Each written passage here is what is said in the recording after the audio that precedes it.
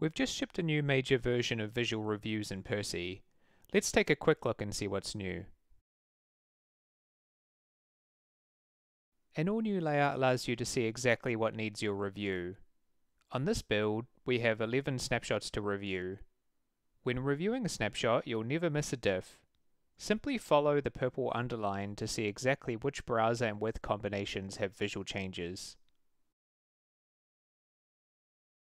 You have two distinct options for viewing a snapshot. First, we have side-by-side -side mode. It shows the original screenshot on the left and the new on the right. Your other option is overlay mode. Here we stack the original and new screenshots on top of each other. You can use the left and right keys to quickly navigate between original and new.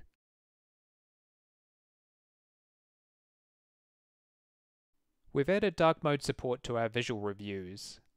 Just hit this button to toggle it on. It's really great for reviewing light colored applications.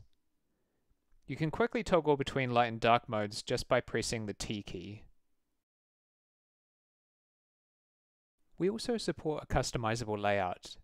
Just drag these dividers and resize them to perfection. And if you want a super clean layout, just hit this button to collapse the filter panel completely. Hover over the left to quick access it again. Nothing's faster than using keyboard shortcuts. Hit down to go to the next snapshot, D to toggle the diff overlay, and finally A to approve this snapshot. And that's your quick look at what's new in Visual Reviews 2.0 in Percy.